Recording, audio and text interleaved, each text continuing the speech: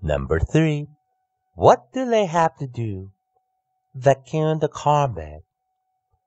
Number four, what does Mary have to do? Set the table. 第四大题，造句练习，语法虚作，适当变化或加上字词。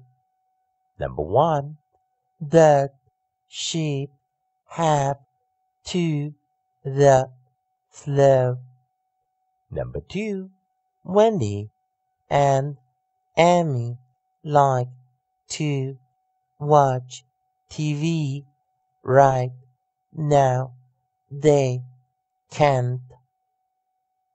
第五大题配合题。Number one. Does he have to sweep the floor? A. But first he has to feed the dog. Number two. Do they have to clear the table? B.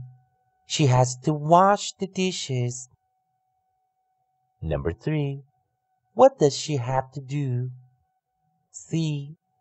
They have to set the table. 4. What do they have to do? D.